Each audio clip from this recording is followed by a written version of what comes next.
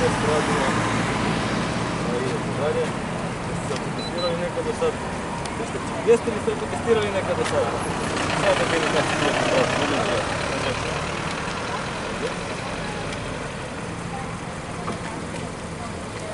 Hvala vam.